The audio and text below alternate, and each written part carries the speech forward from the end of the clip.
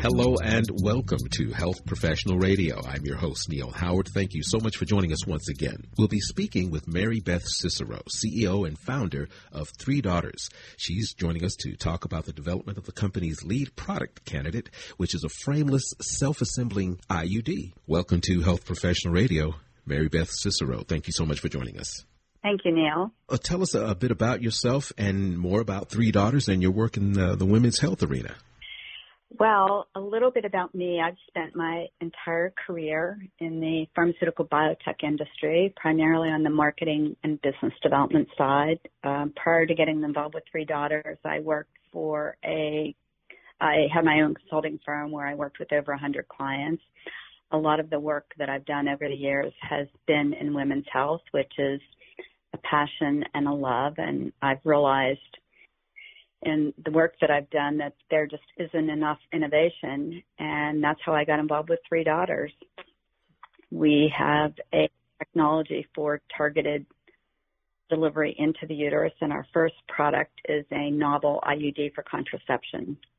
Is this something vastly different from the current standard of care? It actually is, Neil. Um, all of the current IUDs in the U.S. are have a T-shaped plastic frame that have arms and dangling strings needed for removal. And it's a rigid frame, and this has been around for over 40 years, and it causes significant insertion and actually retrieval pain. And it's one of the things that we want to address with our technology because we have a, a frameless platform. It's actually three small magnetic elliptical shapes that are inserted individually into the uterus and form into this very stable triangle. And in this way, it conforms to a woman's body and adapts to the uterine environment. We're expecting it to basically float gently in the uterus, unlike the current T shape, which needs specific placement. And we, together with our inserter and retriever system, which is called a glider, will be eliminating at least three of the pain points that occur during IUD insertion of the current T shape. You mentioned that you had extensive uh, marketing experience as well. Based on your knowledge of the current IUD market, how do you see this development progressing as far as being accepted and um, really changing the game? Well, I like that you use those words, Neil, because we basically believe it's a game changer and our first goal out of the box is to disrupt this market and move it from this T-shaped frame to a frameless technology. The market in the U.S. is about 1.5 billion now, and it hasn't really had any innovation since 2016 when the last IUD was launched here that just had a lower dose of progestin. So there hasn't been any major innovation and women really get scared away from selecting IUDs. And the great thing about IUDs is they're very effective, greater than 99%. They can be left in place, in some cases up to 10 years. They've been around a long time, so there's a history of relative safety. And reversible. And once they're in, they're in. They don't require much on the part of the patient. But younger women really get scared from hearing about the insertion pain. There's videos on TikTok that get, believe it or not, 1.4 billion views, and this scares women away. Mm-hmm. And with our IUD, we expect it to be, because we are eliminating those pain points, to be less painful and really address one of the major barriers to IUD adoption. Now, can your IUD be left in for that long a period uh, of time that you mentioned that other uh, IUDs can be left in? Well, usually when IUDs are launched, they're launched with the safety data, so that's our initial proposal to the FDA. Mm-hmm. What happens is as you gather additional data, you can extend the amount of time that can be left you mentioned younger women in a, in a previous statement.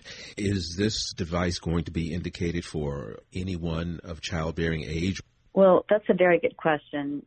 And really, uh, IUDs used to be reserved for women after they had children, but the age has moved down. Even the Academy, American Academy have pediatrics, uh, men, along with ACOG from age 15 on, 15 to 19 age group, and the 20 to 24 for use of IUDs, again, because we think they're scared away from this insertion pain.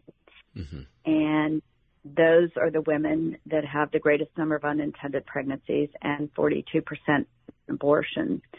So it's critical at this juncture, especially in the U.S., that women have more contraceptive options and have efficacious contraceptive options.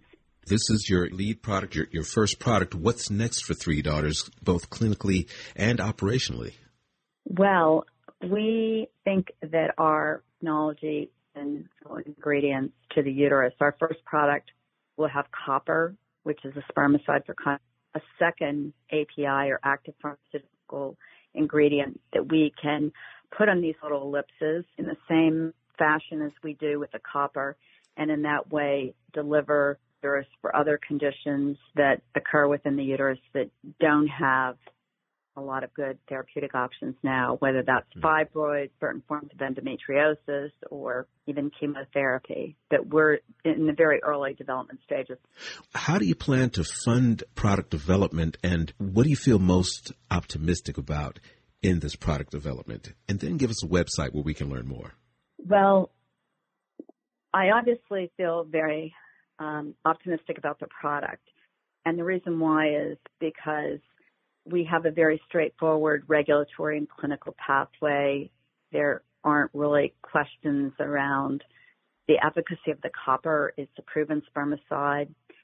And we know it's a 505b2 pathway with the FDA, which makes it a little easier because we can rely on their findings of safety and efficacy.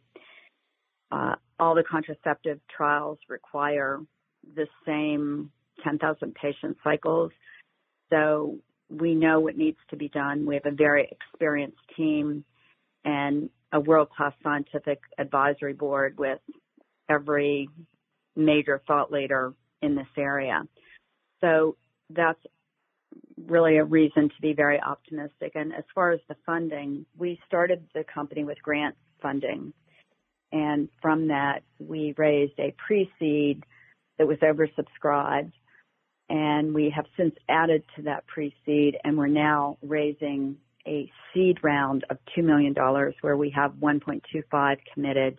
We're basically looking for another half million to be part of that seed. And at the same time, we're going to meet, and that seed will fund our IND filing next year. From there, we're moving right into phase one trials and we're looking for a series A of 10 million. And with that 10 million, we'll be able to complete our phase one trial. And then we're looking for a corporate partner to help us commercialize for the U.S. market.